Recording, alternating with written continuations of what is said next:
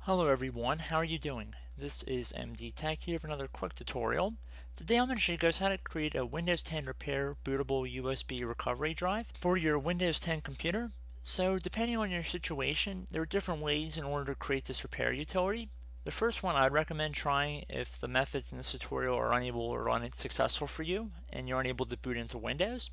I recommend going on to Microsoft's website and downloading the Windows 10 Media Creation Utility which is basically going to create a Windows 10 bootable ISO file.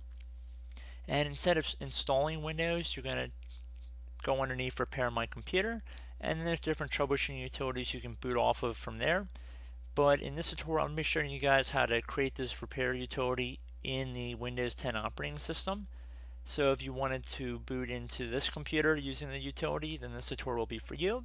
If you're trying to boot into the same computer you're having these difficulties with, this tutorial I'm going to be walking through is really not for you guys. And like I said, I recommend downloading the Windows 10 Media Creation Utility. And it's pretty straightforward. I have made numerous videos of it in the past. So you're more than welcome to check out my channel on how to do that.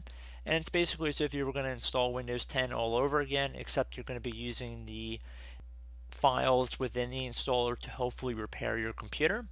So just want to put that out there.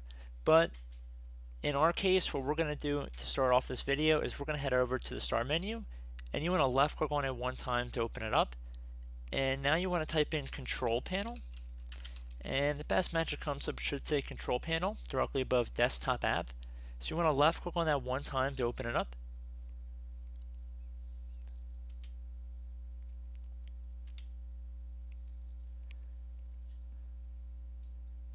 So underneath the view by area on the right side here, you want to set it to large icons.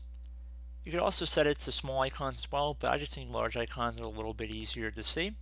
And you want to go and you want to access the recovery area. So double click on that to open up the recovery view. Now you want to select create recovery drive. Creates a recovery drive to troubleshoot problems when your PC can't start. You want to left click on that one time to open it up. And then you will likely receive a user account control window in which you want to select yes. It should be a verified publisher, of course, because we haven't downloaded anything. So it should just be yes. No problems. So it says create a recovery drive. Even if your PC can't start, you can still use a recovery drive to reset or troubleshoot prompts. If you back up system files to this drive, you'll also be able to use them to reinstall Windows. And you can keep this checked if you want. You don't have to, but if you want to back up system files to recovery drive, you're welcome to. Just keep in mind it's not going to update all the time, especially if you're using a removable media device. So if you're just creating a backup, it's going to restore back to whatever the state of your documents are today, not maybe six months from now when you're having this problem, if your problem is in the future and you're just a forward-thinking individual. So we're going to keep it checked, no real harm in that.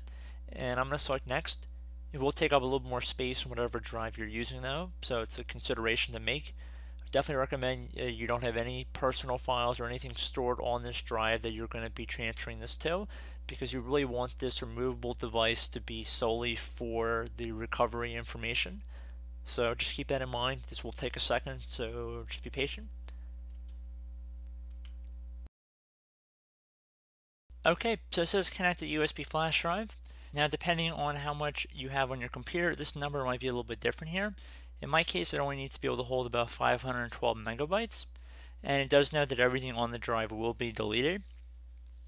So I just want to put that out there. You really should be cautious. You want to make sure your drive is clean, the one that you're going to be putting this on. And then your computer should be able to recover off of it. So especially if it's a bootable USB flash drive, it's probably ideal. So I'm just going to put that out there. But you want to select next once you've plugged it in, and it's a very automated process from there. So you want to give that a try. If that does not work for you and you're not getting the results you want, you can always go into settings and try resetting your computer. So you see this hyperlink right here. If you're having problems with your PC, go to settings and try resetting it. So if you left click on that, it'll open up the settings window. And you can always try resetting your PC, which I would recommend as like a last resort, but it will help you reinstall Windows and you should be able to keep some personal files and documents. You just would have to read along with the prompts and make sure you're selecting the correct options when you are resetting your computer. But I do have this brief tutorial was able to help you guys out. And as always, thank you for watching and I will catch you in the next tutorial. Goodbye.